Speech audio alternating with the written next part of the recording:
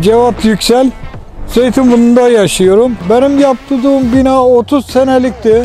Devlet diyor ki sağ kardeşim senin binan aşağıda çürüktü. Ama ben burada sağ diyor bir hizmet yapıyorum. Böyle bir hakta tanıyınca devlet bize biz razı olduk yani.